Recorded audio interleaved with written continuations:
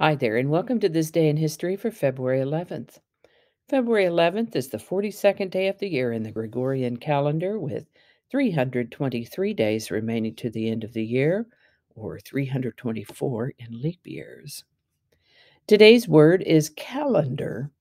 Calendar is a noun that means a system of defining the beginning, length, and division of the year. It usually consists of a tabular array of days, usually for one year. It can also mean a list or register of events, appointments, social events, court cases, etc. Calendar can also be used as a verb, meaning to enter onto a calendar. The word calendar comes to us from Middle English, Old French before that, ultimately from a Latin word that referred to the first day of the month in the Roman calendar. And the word itself evolved from a word that meant to call out, which referred to the calling of the new moon when it was first seen. Calendar. And with that, we're going to start with February 11th in the year 660 BC. It's considered the traditional date for the foundation of Japan by Emperor Jimmu. This is the birthday of Elizabeth of York, born February 11, 1466.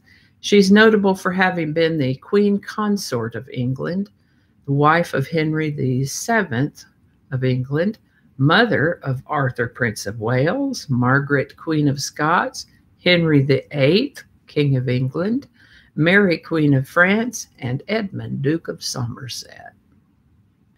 On February 11, 1534, Henry VIII of England was recognized as head of the Church of England. He set that all up. We've talked about that before. And on February 11, 1808, a man named Jesse Fell burned some anthracite on an open grate as an experiment in heating homes with coal. Anthracite is a metamorphosed type of coal that contains a high carbon content. It burns differently than wood does and hotter too, if I remember correctly. And this experiment of his appears to have been successful as coal has been used in homes as heating fuel for quite a while now. This is the birthday of Thomas Edison, born February 11th, 1847. He was, of course, an engineer, businessman, and inventor. Pretty busy guy, but the top three things that pop to my mind when I hear Edison are light bulb, phonograph, electricity. Edison died in 1931 at the age of 84.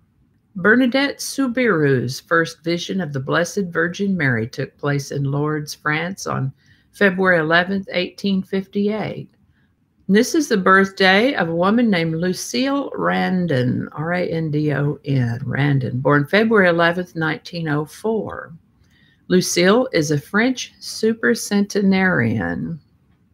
We've talked about supercentenarians before. That's someone who has lived to or beyond the age of 110.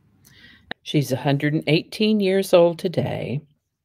She's also the second oldest living person in the world behind a Japanese woman named Kane Tanaka.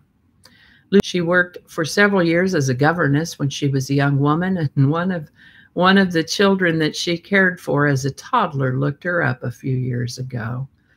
When he was 91, he used the internet. It's amazing what you can find on that internet.